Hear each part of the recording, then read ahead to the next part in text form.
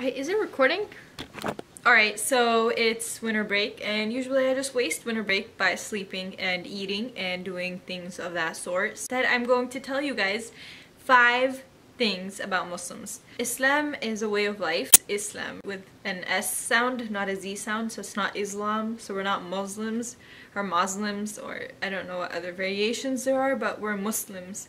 So we pray five times a day. We pray at sunrise, noon, afternoon, sunset, and the evening approximately.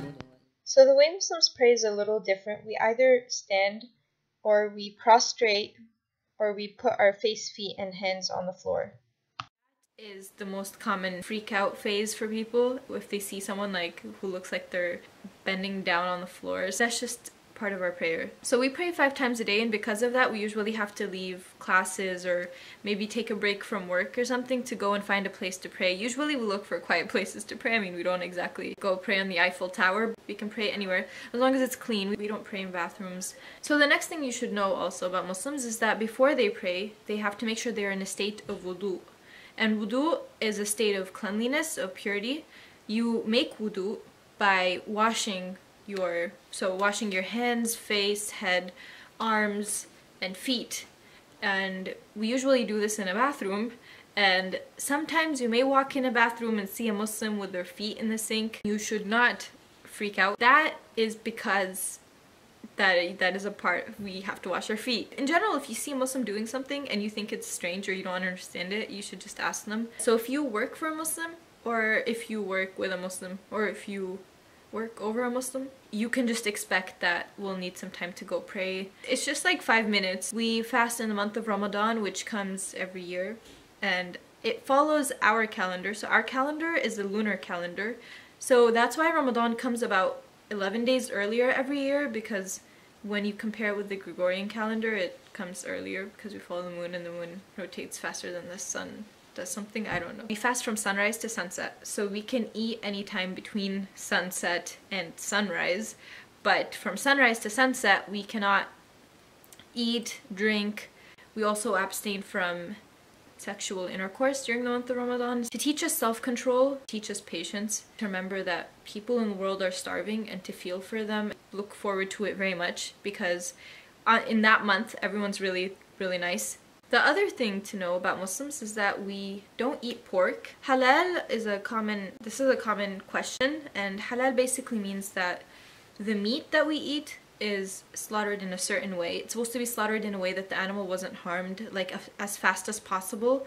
It also is a health, it also has a health benefit to eat halal because you can't, for example, eat animals that were shot or electrocuted or you don't know how they died. Like if you just see like a dead animal lying on the side of the street, you don't just like pick it up and eat it because you don't know how it died and like maybe has like a virus or something. The other thing that you should know about Muslims is that we do a pilgrimage. We are supposed to do this once in our lifetime if we can, which basically mean usually means like if we can afford it, if we're old enough. And old enough by the way is reaching puberty. You go to Saudi Arabia, you go to a place called Mecca. If you look up like Muslim pilgrimage, you'll see like a lot of people, usually wearing like black and white.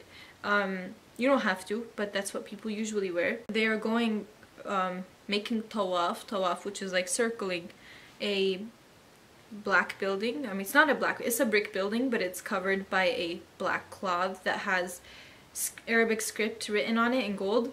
So that building is called the Kaaba and that is our most holy place of worship. Millions and millions of other Muslims from all around the world every country. There's someone from every country there.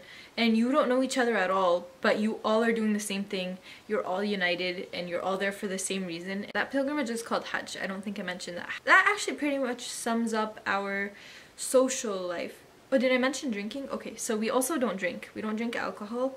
And that is because drinking alcohol takes away your mind. People don't treat drunk people very nicely. On the same lines with alcohol, we also don't do drugs. We don't you know, smoke. We're not supposed to smoke. Whoever came up with cigarettes, I don't know who came up with it. It was someone thought of it, and it's a it's and it's the reason so many people have died since. To recap, we don't drink, don't eat pork. We pray five times a day in the random places, in classrooms, under buses, in chairs, whatever. We also make wudu make wudu, which is like washing ourselves before prayer, and we do that in bathrooms, and so our feet may be in the sink. What else? Oh yeah, and the I guess the last thing, most obvious thing is Muslim women wear hijab. It's kind of a side thing, but Muslim women wear hijab, and I get asked a lot, like, why are you wearing hijab, or, you know, did someone make you do it, etc. Uh, definitely it's an act of choice. We wear it because we want to be judged based on our inner beauty and based on what our personalities are, what our thoughts and minds are, and not like our appearance. Some people you will see them, you know, covering their whole face instead of just part of it. Uh, in the news that seems to be known as the burqa. Burqa, the that word is used for a cultural dress. Um, the word that is usually meant for the religious dress is the niqab. Um, anyways, you may see burqa, you may see niqab. They refer to the same thing.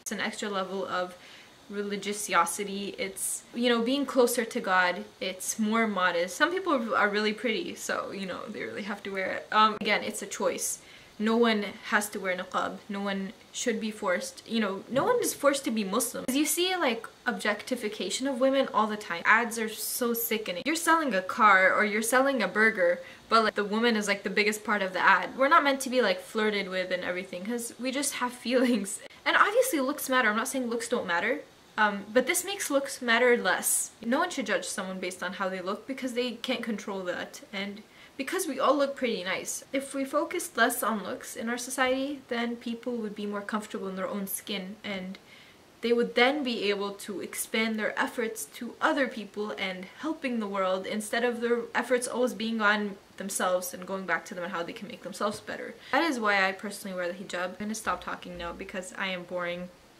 Bye.